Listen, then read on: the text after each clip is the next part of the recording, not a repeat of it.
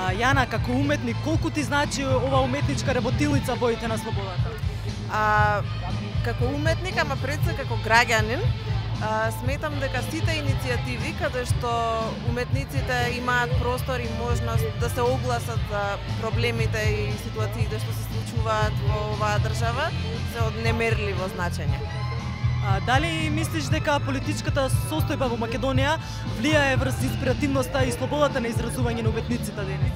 А, предпоставувам дека да, тоа е сепак малку тешко бидејќи уметноста знае да биде вртлива работа, односно да со еден наслов да направиме спин условно кажано или да го промениме значењето на делото и да бидеме субверзивни до бескрај.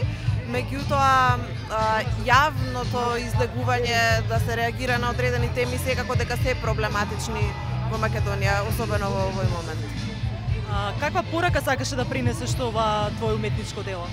Па мислам дека пораката е повеќе од очигледна и колку и да сум расположена да зборувам за делото во многу ситуации, овдека мислам дека сликата зборува сама за себе.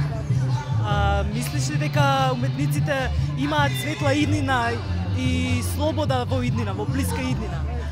А, доколку се случат оние оставки кои што ги посакуваме, мислам дека секој има светла иднина, не само уметниците. Благодарам.